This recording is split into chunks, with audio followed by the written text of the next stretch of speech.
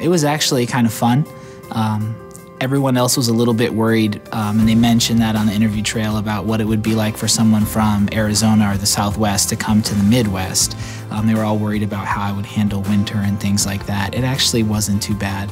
Um, I got in a U-Haul, drove across the country, got to see a lot of things on the way here, and then when I got here that summer, only got to about 90 degrees, so it wasn't really a summer in my opinion. It was kind of the best season of my home, which is the winter when it was 80 or 90 degrees. So um, that combined with the fact that the winter wasn't too bad that year um, really made it very easy to live here. And it's a college town, and I had done a lot of school previously. So the atmosphere and all of those things that I was already used to back home were just the same here.